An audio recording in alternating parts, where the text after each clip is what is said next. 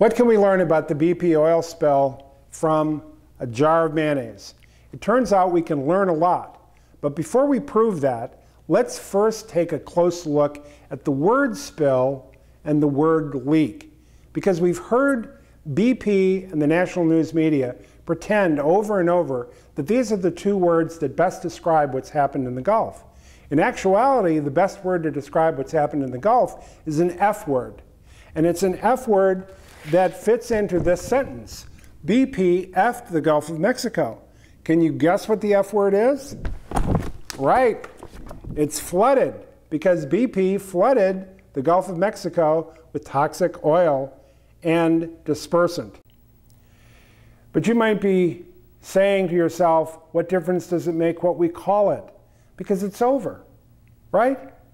After all, the well supposedly has been capped. We all hope that's true. But the reality is that the crisis is just beginning for those things living in the Gulf of Mexico, all of us who depend on the things living in the Gulf of Mexico and the oceans beyond. Because a lot of our food comes from those oceans, and half of the world's oxygen comes from those oceans. So the disaster affects all of us. And this jar of mayonnaise will explain why. Now, that probably sounds weird to you because, after all, if we look at what black oil, petroleum oil, looks like in water, it floats on the surface and it's black. If we look at mayonnaise, by comparison, in a similar size container, it's obviously white. The black toxic oil, which contains chemicals from benzene to polyaromatic hydrocarbons, some of which are carcinogenic, floats on the surface, whereas the oil in the mayonnaise is uniformly distributed throughout the container. It becomes more obvious the similarities between these two if we look at what the mayonnaise is actually made from.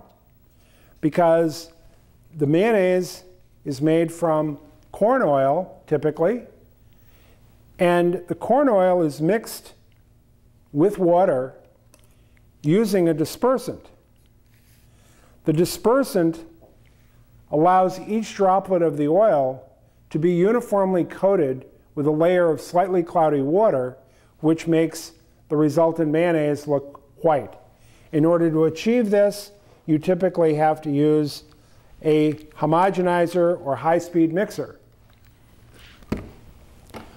What does that have to do with the BP oil disaster in the Gulf?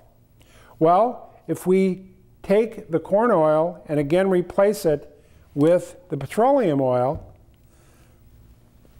what BP has done is add a dispersant to that black oil so that instead of looking like white mayonnaise, it basically becomes what we could call a toxic mayonnaise. For example, in a recent July issue of Scientific American, we see that the BP oil that appears on camera typically looks reddish orange. It almost looks like fish food, unfortunately, but it certainly doesn't look black. The reason, again, remembering what happened with the mayonnaise, we went from a clear yellow oil to a white mayonnaise. In this case, we're going from a black toxic oil to a toxic mayonnaise. Now, why is this so dangerous? Well, we can show that by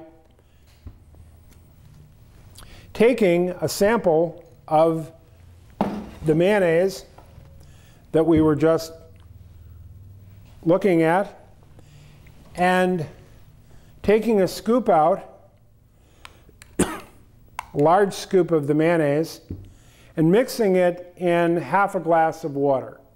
Now, unlike a lot of things that you see on television, you can do this experiment at home. All we have to do is add our mayonnaise into the water and stir, and we see that first of all, it begins to look like a type of milk because we're dispersing or redispersing the oil and the mayonnaise in the water. Now, let's consider a much larger volume of water. For example, what's happening in the Gulf. Once we add this dispersed mayonnaise into the larger volume of water, what we notice is that most of it stays underwater. Virtually none comes to the surface. This is very important because that's what's happened in the Gulf. and that's why, for example, the idea of using barges to prevent the migration of the toxic oil or using skimmers to skim the surface are ineffective.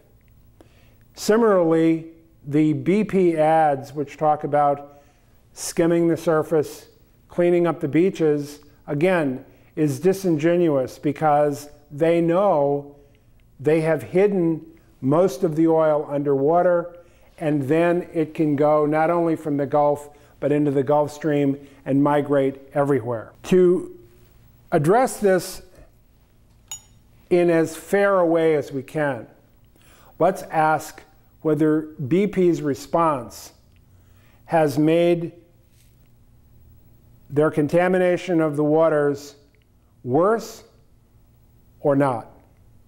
In my opinion, there are three reasons why BP's response has made it worse. First of all, they used a dispersant to disperse the toxic oil, so most of it stays underwater.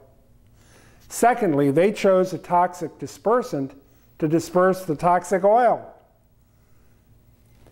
Thirdly, they've actually used over 2 million gallons of toxic dispersant through aerial and underwater spraying to hide most of the toxic oil underwater. Now, let's do a reality check at this point and ask ourselves perhaps the most basic question. And that is, does it make sense to disperse one toxin with another toxin? As opposed to just removing the first toxin altogether. Well, if you were poisoned or you were bitten by a poisonous snake and you went to your doctor, your doctor wouldn't disperse the toxin throughout your body, would, would he or she? No.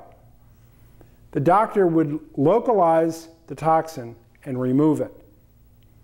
And that's exactly what should happen whenever there's a contamination of any body of water. In fact, that's exactly what each of us is required to do if we're a homeowner and we have oil heat.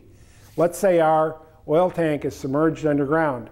If that oil tank leaks, we're required by law to remove the tank, remove the oil, remove all the dirt and water that's become contaminated with oil, and have it completely uh, decontaminated before it can be reused. That's what we're individually required to do. Similarly, if you're changing the oil in your car, you know you can't just take the old oil and throw it on the ground, much less pour it down the toilet. But in fact, isn't that what BP has been allowed to do by using a dispersant with the permission of our government? This is a double standard and it's got to change. And the only way it can change is if we put pressure on our government to require that the oil companies stop using dispersants as a means of hiding the contamination that they've caused.